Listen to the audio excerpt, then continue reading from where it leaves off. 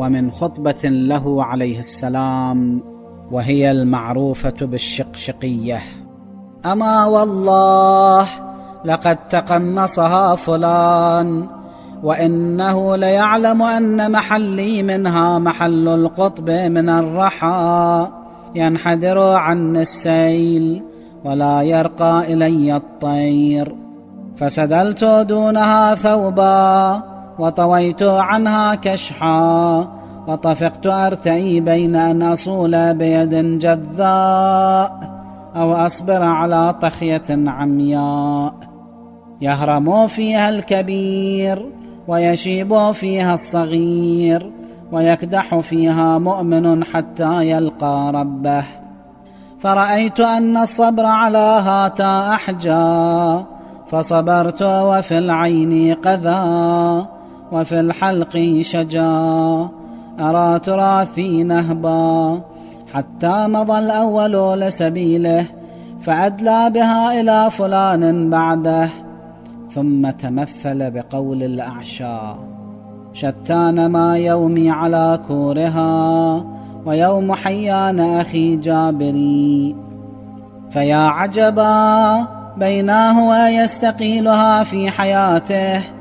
إذ عقدها لآخر بعد وفاته لشد ما تشطر ضرعيها فصيرها في حوزة خشناء يغلظ كلمها ويخشن مسها ويكثر العثار فيها والاعتذار منها. فصاحبها كراكب الصعبة إن أشنق لها خرما وإن أسلس لها تقحم. فمني الناس لعمر الله بخبط وشماس وتلون واعتراض فصبرت على طول المدة وشده المحنة. حتى إذا مضى لسبيله جعلها في جماعة زعم أني أحدهم. فيا لله وللشورى متى اعترض الريب في مع الأول منهم. حتى صرت أقرن إلى هذه النظائر. لكني أسففت إذ أسفوا وطرت إذ طاروا فصغى رجل منهم لضغنه ومال الآخر لصهره. مع هن وهن إلى أن قام ثالث القوم نافجا حضنيه بين نثيله ومعتلفه. وقام معه بنو أبيه يخضمون مال الله خضمة الإبل نبتة الربيع. إلى أن انتكث فتله وأجهز عليه عمله وكبت به بطنته. فما راعني إلا والناس إلي كعرف الضبع. ينثالون علي من كل جانب حتى لقد وطئ الحسنان وشق عطفاي. مجتمعين حولي كربيضة الغنم. فلما نهضت بالأمر نكثت طائفة ومرقت أخرى وقسط آخرون. كأنهم لم يسمعوا كلام الله سبحانه حيث يقول تلك الدار الآخرة نجعلها للذين لا يريدون علوا في الأرض ولا فسادا والعاقبة للمتقين.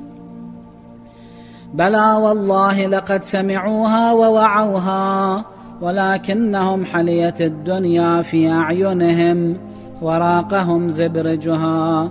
أما والذي فلق الحبة وبرأ النسمة لولا حضور الحاضر وقيام الحجة بوجود الناصر. وما أخذ الله على العلماء ألا يقاروا على كظة ظالم ولا سغب مظلوم. لألقيت حبلها على غاربها ولسقيت آخرها بكأس أولها ولألفيتم دنياكم. هذه أزهد عندي من عفطة عنز.